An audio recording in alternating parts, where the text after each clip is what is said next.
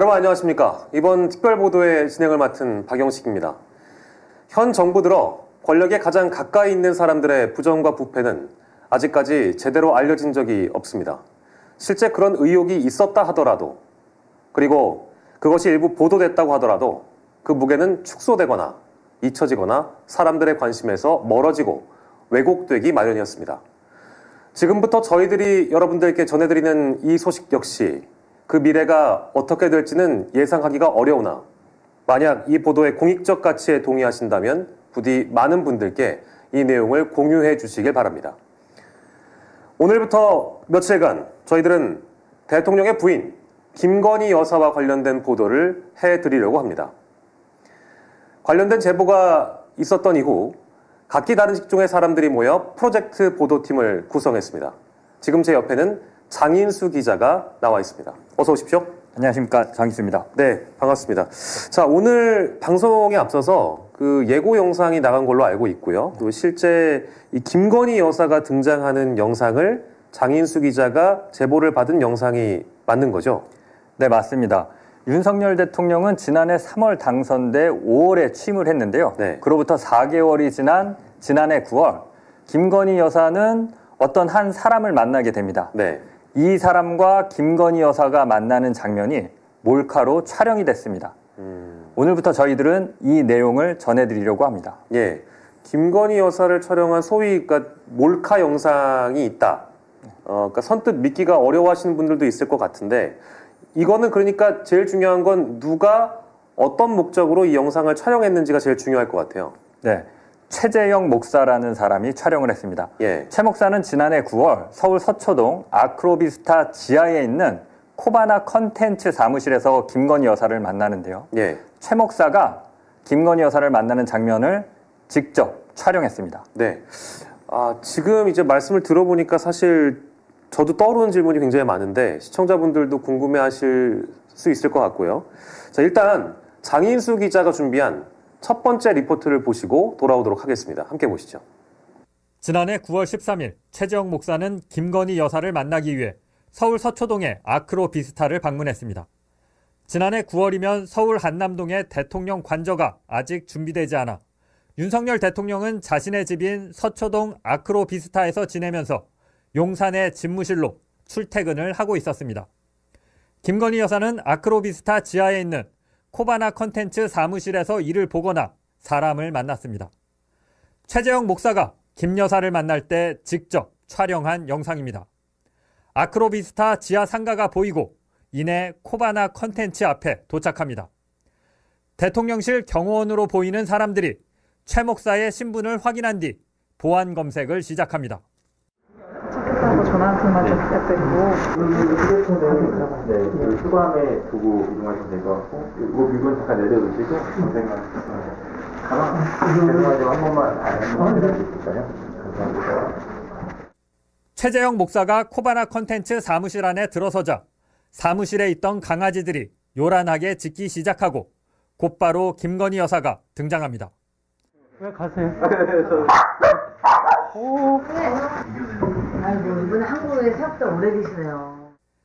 자리에 앉자마자 최 목사는 자신이 준비한 선물을 김건희 여사에게 건넸습니다.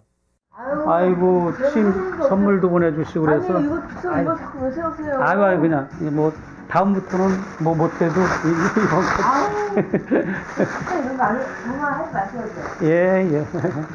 최 목사가 건넨 선물입니다. 하얀 종이 가방에 DIOR, 디올이라고 적혀 있습니다.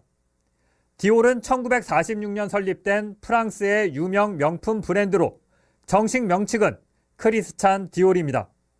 이 선물을 살 때 백화점 디올 매장에서 촬영한 영상입니다. 제품명은 디올 여성 송아지 가죽 파우치, 색상은 Cloud Blue입니다. 가격은 300만원. 김건희 여사를 만나기 8일 전인 지난해 9월 5일 서울 명동에 있는 신세계 백화점 본점 디올 매장에서 구입했습니다. 네, Lady, Lady Dior 파우치인데 예. 네, Cloud Blue 컬러 제품이에요. 그러면 제가 한 번 더 안쪽에서 clean 한번 해드리고 예. 포장 도와드리겠습니다. 최 목사는 이 가방을 김건희 여사에게 선물했습니다. 대화를 마치고 나올 때 김 여사는 다시 한번 선물에 대해 언급했습니다. 그렇게 사오지 마세요. 아유, 아유, 알았습니다. 네. 네. 그래도 성이니까. 김건희 여사는 다음부턴 사오지 말라면서도 이날 가져간 디올 가방을 거절하지 않고 받았습니다.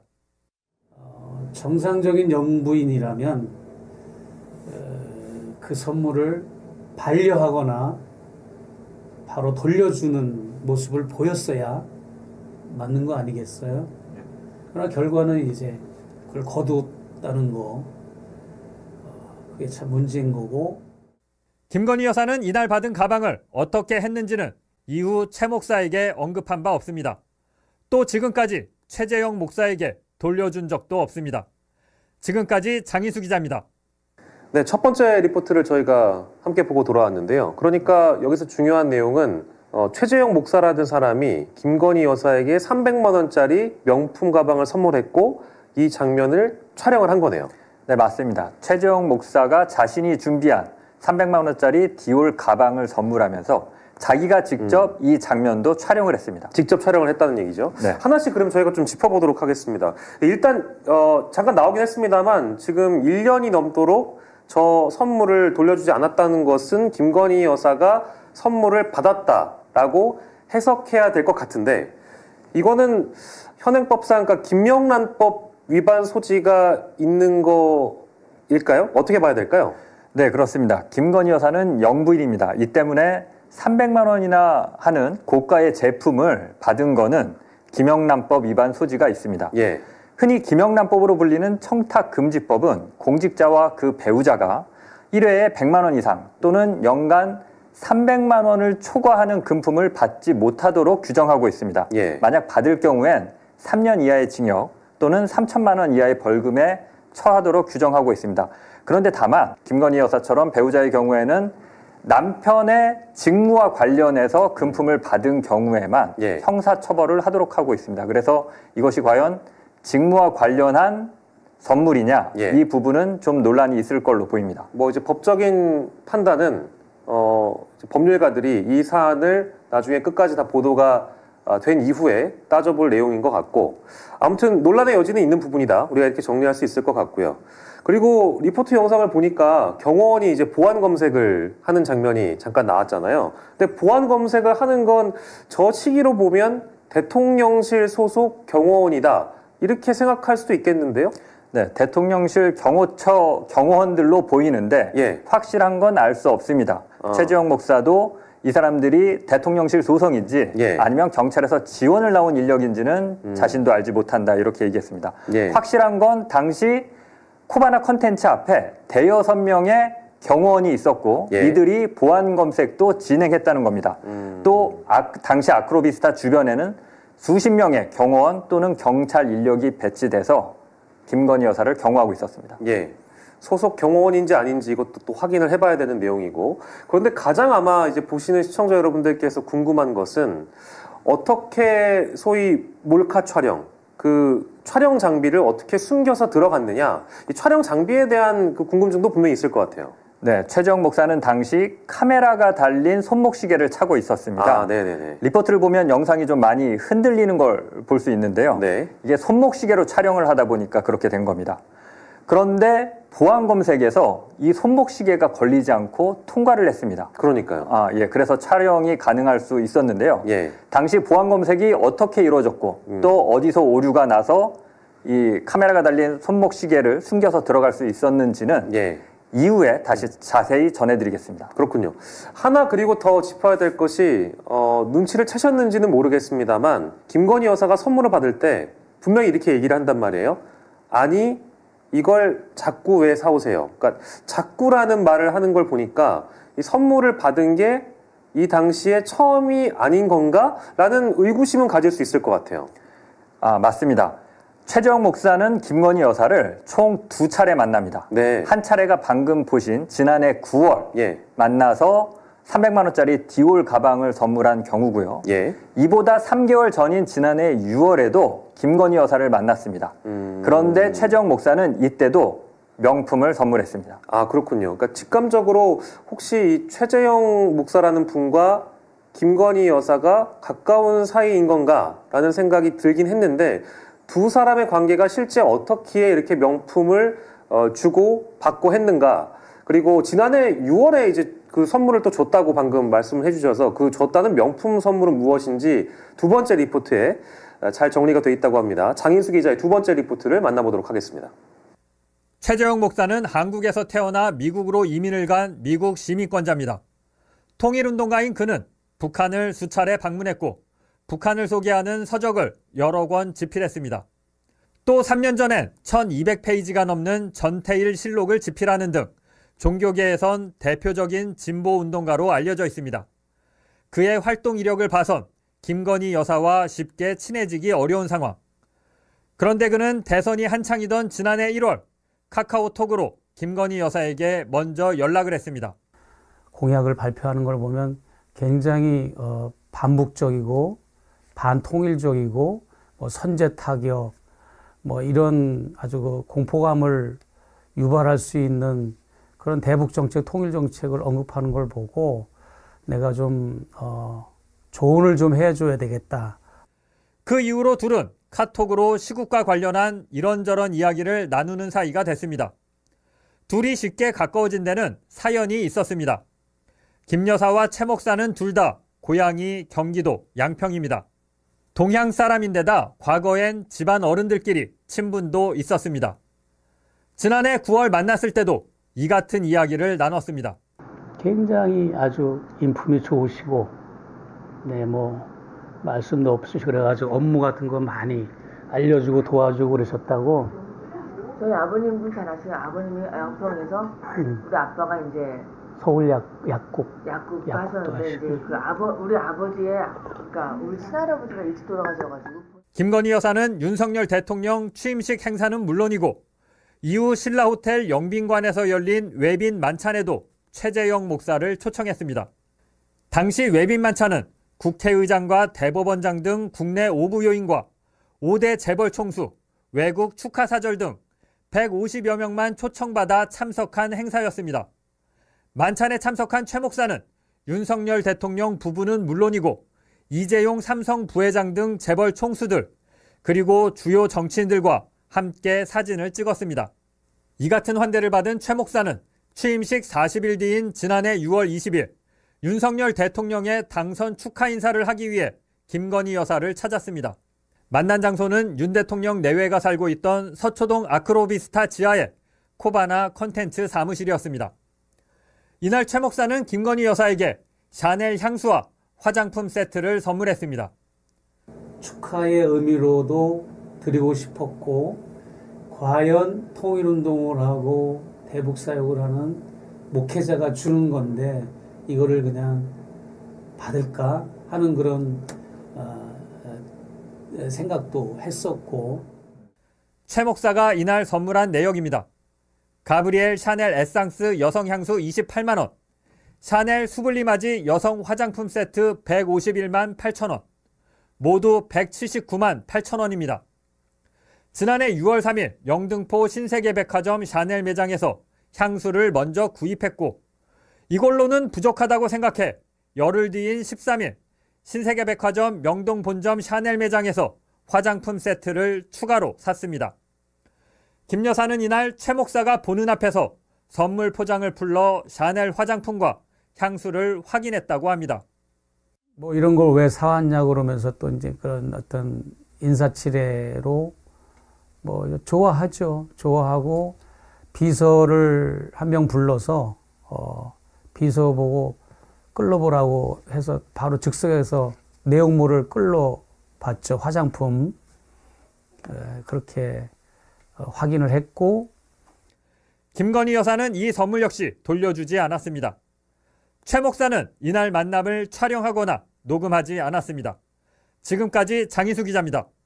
어, 이 리포트도 또 보고 나니까 어, 하나씩 짚어봐야 될 게 적지 않은데요. 일단 지금 어, 이두 사람의 관계를 저희가 좀 따라가 보려고 노력을 했는데 최 목사와 김건희 여사는 어쨌든 동양 사람인 걸로 파악이 됐고 집안 어른, 들끼리도 일단 뭐 잘 아는 사이였다 이렇게 보여집니다. 네 맞습니다. 김건희 여사와 최정 목사 둘 다 고향이 경기도 양평입니다. 예. 동양 사람인데 단순히 동양 사람이 아니라 과거에는 양가 집안이 서로 친분이 있었다고 합니다. 예. 어, 지금은 고인이 된 김건희 여사의 아버지가 과거에 양평군청 공무원으로 재직한 바 있습니다. 예. 그런데 최재형 목사 집안 어른 중에서도 양평군청에 다, 재직했던 사람이 있었다고 합니다. 그래서 네.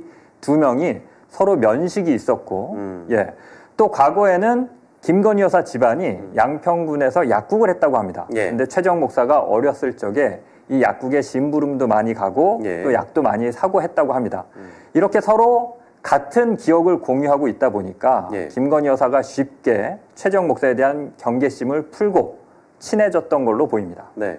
그래서 김건희 여사가 어, 최재형 목사를 그 취임식 만찬 행사에도 초청을 했습니다. 아까 저희가 영상으로 봤습니다만 이 만찬은 근데 초청받은 사람이 150여 어, 명 정도만 참석을 했고 이 자리에 참석했던 이 한국 정재계에서 내로라 하는 사람들만 초청받은 자리였는데 이 자리에 최 목사도 초청을 받았거든요. 그렇다면 어, 김건희 여사와 최재형 목사의 친분은 상당한 수준이고 두터웠다 이렇게도 볼 수 있는 겁니까? 네, 이 부분은 사실 좀 의외입니다. 김건희 여사가 최재형 목사를 초청한 건 확실해 보입니다. 예. 그런데 여기서 한 가지 이상한 점은 김건희 여사는 대통령 취임식 이전에 최재형 목사를 만난 적이 한 번도 없다는 겁니다. 음. 그 전까지는 둘이 서로 카톡으로만 연락을 주고받는 사이였는데요. 예. 뜻밖에도 150명만 참석하는 만찬 행사에 최재형 목사를 초청한 겁니다. 리포트에서 보신 것처럼 최 목사는 이날 윤석열 대통령과도 사진을 찍었는데요. 음. 최 목사는 윤 대통령과는 특별한 친분이 없다고 합니다. 당연히 예. 만찬 행사에서 처음 만났고 예. 이날 만난 이후에는 당연히 어, 다시 본 적은 없다고 합니다. 어, 그 이후에도 이제 본 적은 없다라는 네. 말씀이시고 어, 그 얘기를 들어보니까 음, 이 굉장히 이례적인 게 당시에 만찬 행사를 누가 참석했는지 또 누가 참석하지 않았는지 굉장히 많은 보도가 이루어졌었고 화제가 됐던 주목을 받았던 자리인데 김건희 여사가 한 번도 만난 적이 없는 동향 사람에 불과한 최재형 목사를 초청했다라고 정리할 수 있는 거잖아요. 네. 근데 이게 어떤 의도로 어떤 생각으로 초청을 한 건지 사실 저희가 김건희 여사가 아니기 때문에 와닿진 않고 이해가 잘 되진 않지만 이날 김건희 여사를 처음 만났고 한 달 뒤에 6월에 어, 최 목사가 코바나 컨텐츠를 방문을 해서 어, 김건희 여사를 다시 만나는데 이때 아까 보신 대로 어, 샤넬 향수 그리고 화장품 세트를 선물을 했다는 거잖아요. 네 그렇습니다. 6월 20일에 코바나 컨텐츠에서 만나는데 이날 샤넬 향수와 화장품 세트를 선물합니다. 어, 이 선물은 두 번에 나눠서 어, 구입을 하는데요. 예. 먼저 영등포 신세계백화점 샤넬 매장에서 28만 원짜리 향수를 먼저 구입합니다. 그런데 향수 하나로는 좀 부족하다고 음. 생각을 해서 다시 신세계백화점 명동 본점을 방문해서 150만 원 상당의 여성 샤넬 화장품 세트를 구매합니다. 그래서 이 두 개를 같이 선물했는데 네. 김건희 여사가 이날은 그 자리에서 이 선물 포장을 풀러서 내용물을 음. 확인했다고 합니다. 예. 또 포장을 뜯을 때는 김건희 여사의 비서 두 명도 옆에 서서 같이 내용물을 확인했다고 합니다. 예. 어, 굉장히 좀 구체적으로 말씀을 해주셨고 이제 이 내용은 최재형 목사의 증언을 토대로 이제 장인수 기자께서 말씀을 해주신 겁니다. 정리를 좀 해보면 어, 이 사건은 어, 대통령 부인에게 고가의 선물을 하면서 몰래 촬영을 한 거고요. 최재형 목사가 자기가 선물을 주면서 이걸 어, 촬영하고 폭로한다? 그러니까 이거는 어찌 보면 이제 함정 취재라는 논란이 붙을 가능성이 있어 보여서 제가 어, 일단 말씀을 드리는 거고, 그러니까 나아가서는 이게 일종의 취재 윤리 위반이다.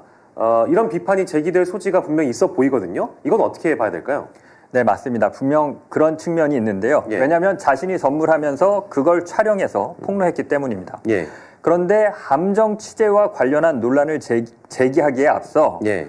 최재형 목사가 김건희 여사에게 선물을 전달하는 과정을 좀 더 꼼꼼히 살펴볼 필요가 있습니다. 예. 그 이유는 최 목사가 김건희 여사 모르게 선물을 준비해서 가지고 들어간 게 아닙니다. 예. 또 최재형 목사가 선물한 게 명품만 있는 것도 아닙니다. 음. 여러 다양한 선물들을 했는데요. 예. 이것들을 종합적으로 한번 살펴본 후에 예. 이것이 함정 취재냐, 예. 취재 윤리 위반이냐를 따져보는 게 맞을 것 같습니다. 알겠습니다. 다음 내용도 궁금해지기 때문에 장인수 기자의 세 번째 리포트를 함께 보도록 하겠습니다. 최재용 목사와 김건희 여사가 나눈 카카오톡 대화 내용입니다. 지난해 6월 17일 자정쯤 최 목사는 선물로 준비한 샤넬 쇼핑백 사진을 김건희 여사에게 보냈습니다. 그리고 0시 6분 티타임을 갖자고 제안했습니다. 1분 뒤에 온 김건희 여사의 단문. 주일은 꽉 차 있다며 월요일 오후 2시에 티타임을 갖자고 제안합니다.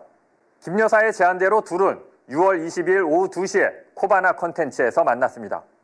디올 가방을 선물할 때도 상황은 비슷했습니다. 지난해 9월 7일 최 목사는 역시 선물로 준비한 디올 쇼핑백 사진을 찍어 김건희 여사에게 전송했습니다. 그리고 추석 인사를 하고 싶다며 언제가 좋을지 물어봤습니다. 이번엔 김건희 여사 대신 비서에게 답이 왔습니다. 5일 뒤인 9월 10일 비서가 먼저 인사를 건넨 뒤 여사님께서 잠깐 뵐 수 있는 시간을 내보겠다라고 말했다고 전합니다. 이 비서는 다음 날인 13일 오후 2시 반으로 면담 약속을 잡았습니다. 두 번의 명품 선물은 이런 과정을 거쳐 이뤄졌습니다. 그런데 최 목사가 명품만 선물한 건 아니었습니다. 지난해 10월 18일 최 목사는 가방과 오리털 점퍼, 스카프를 선물로 준비해 사진을 보냈습니다. 모두 비싸지 않은 제품들이었습니다. 수수한 옷도 입고 나오는 경우도 있어서 그 명품 외에도 일반적인 수수한 서민용의 의류나 이런 소지품들을 선물하면 뭐 좋아하지 않을까 해서 그런데 김건희 여사는 아무런 대꾸를 하지 않았습니다. 5일 뒤인 23일 최 목사가 다시 만나자고 제안하자 김 여사는 네라고 짧게 답했을 뿐 면담 약속을 잡지 않았습니다. 이틀 뒤인 25일 최 목사는 다시 한번 코바나 컨텐츠에 들리겠다고 제안했지만 김건희 여사는 답을 하지 않았습니다. 결국 김 여사를 만날 수 없었던 최 목사는 준비한 선물들을 모두 인터넷 중고시장에 팔았습니다. 서민용 의류를 어 이제 구입해서 사진을 찍어서 보냈을 때는 아무 반응이 없을 때, 어, 아, 명품을, 명품 선호하는 분이 맞구나. 그런 생각을 했고. 지난해 8월에는 30만 원 정도 하는 위스키를 취임 100일 선물로 준비해 코바나 컨텐츠에 맡기고 왔습니다.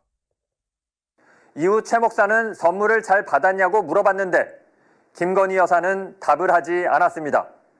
최 목사는 면담 요청도 여러 차례 했습니다. 하지만 김건희 여사는 읽은 뒤 반응을 보이지 않는 경우가 많았습니다. 최 목사는 대통령 취임 이후 총 5차례 선물을 준비했고 10여 차례 면담 요청을 했습니다. 이 중 딱 두 번 명품 선물을 준비했을 때만 김건희 여사와의 면담이 이루어졌습니다. 지금까지 장희수 기자입니다. 네, 리포트를 보고 돌아왔는데, 어, 그러니까 정리하자면, 뭐, 명품을 선물했을 때와 저가품을 선물했을 때 김건희 여사의 반응이 달랐다고 지금 최재형 목사가 말씀하시는 거죠? 네, 그렇습니다. 최재형 목사가 선물을 준비한 건 모두 다섯 차례입니다. 예. 그중 두 차례는 앞에서 보신 것처럼 디올과 샤넬 명품 선물이 두 차례였고요. 예. 지난해 7월에는 5만 원 정도 하는 술과 자신이 쓴 책을 선물했는데요. 이때는 만나자는 요청을 별도로 하지는 않았습니다. 예. 약속을 잡지 않은 상태에서 최 목사가 코바나 컨텐츠를 방문해서 맡기고 돌아옵니다. 이때는 김건희 여사가 다음날 선물 잘 받았다. 어, 이렇게 답을 합니다. 8월에는 6만 원 상당의 위스키를 다시 선물하는데요. 이때도 약속을 잡지 않고 코바나 컨텐츠를 방문해서 위스키를 경호원들에게 맡기고 옵니다. 며칠 뒤 최 목사가 잘 받았냐 이렇게 카톡으로 질문하는데 흔히 읽씹이라고 하죠. 예, 김 예. 여사는 메시지를 읽고도 음. 아무런 답을 하지 않았습니다. 예. 10월에는 앞에 영상에서 보신 것처럼 음. 스카프, 점퍼, 후드티 이런 일반인들이 입는 평범한 음. 의류를 선물로 준비해서 예. 전달해 드리겠다라고 카카오톡으로 사진을 전송하는데 예. 김건희 여사는 이 사진을 보고 아무런 답을 하지 않았습니다. 예. 결국 최 목사는 이 의류를 중고시장에 처분했습니다. 예, 전달하지 못했다는 말씀이시고, 어, 그러니까 명품 사진을 보내면 음, 비교적 반응이라는 게 빨리 오고 응답은 왔었는데 어, 차이가 있긴 해 보이긴 합니다. 실제 그런 것 같고요. 근데 뭐 최 목사가 면담 요청을 한 게 10여 차례나 된다고요? 네, 그렇습니다. 최 목사는 선물을 준비했을 때도 면담을 요청했지만 예. 선물 없이도 면담을 요청한 적도 많습니다. 예. 최 목사가 김건희 여사에게 카카오톡으로 티타임을 갖자 이런 면담 요청을 한 게 총 10여 차례 정도 되는데요. 예. 김건희 여사는 이를 대부분 무시했습니다. 음. 답을 하지 않거나 어, 읽고도 별다른 반응을 보이지 않는 경우가 대부분이었습니다. 예. 어, 앞에서 저희가 함정 취재 얘기를 했었는데요. 그런 지적을 드렸었는데 이 보도를 보면 좀 애매한 측면이 있긴 한 것 같습니다. 왜냐하면 자신이 준비한 선물을 사진 찍어서 먼저 김건희 여사한테 보여주고 그 중에는 명품도 있었고 어, 싼 것도 있었습니다. 그런데 김건희 여사가 만나자고 그러면 어, 이제 그 선물을 들고 가서 전달을 하고 온 상황인 거고 못 만나서 뭐 못 준 경우도 있었고요. 그 함정을 파놓고 취재했다. 김건희 여사를 속였다. 이렇게만 얘기하기도 조금은 뭐랄까 어려운 상황인 것 같긴 하거든요. 어떻게 봐야 될까요? 네, 그렇습니다. 함정 취재가 무조건 금지되는 건 아닙니다. 많은 나라의 많은 언론사들이 함정 취재 기법을 사용하고 있습니다. 다만 함정 취재를 통해 얻게 되는 국민의 알 권리가 함정 취재의 위험성이나 비윤리성보다 현저하게 높을 경우 또 함정 취재를 사용하지 않고는 취재원에 대한 접근이나 취재 자체가 불가능한 경우 또 함정 취재의 대상이 사회적 약자가 아니라 아주 높은 권력자들을 대상으로 할 경우에 함정 취재를 인정을 하고 있습니다. 어, 방금 보신 김건희 여사에게 선물을 한 경우는 이 같은 요건을 충족시킨다고 볼 수 있을 것 같습니다. 네. 또최 목사는 김건희 여사에게 주고자 하는 선물에 대한 정보를 미리 알려줬습니다. 예. 숨기고 가지고 들어간 게 아니었습니다. 예. 김건희 여사가 직접 선물을 확인하고 예. 약속을 잡고 선물을 받은 것이기 때문에 최 목사가 일방적으로 김건희 여사를 속였다 예. 이렇게만 보기는 좀 어려운 측면이 있습니다. 예, 뭐 말씀 주셨습니다만 이 함정 취재에 대한 부분은 저희 보도가 나간 이후에 아마도 어, 논란은 있을 것으로 어, 보이고요. 어, 보도가 나간 이유를 좀 지켜보도록 하겠습니다. 자 그리고 또 하나 궁금한 거는 어, 이최 목사의 의도라고 봐야 될 텐데 어, 자기가 명품을 선물을 하면서 그 장면을 몰카로 촬영을 했단 말이죠.